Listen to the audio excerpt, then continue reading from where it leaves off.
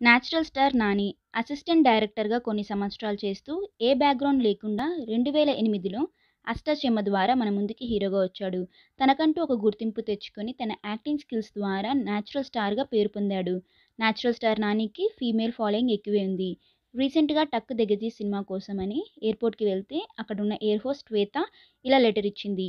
Dear Nani మిమ్మల్ని చిన్నప్పటి నుంచి చూస్తూ ఉంటాను. మిమ్మల్ని చూస్తూనే నేను పెరిగాను. మీరంటే నాకు చాలా ఇష్టం. Very adorable and excellent actor అని ఆ లెటర్ని శ్వేత నాని గారికి ఇచ్చింది నాని ఆ లెటర్ని ఇన్స్టాలో పోస్ట్ చేశారు.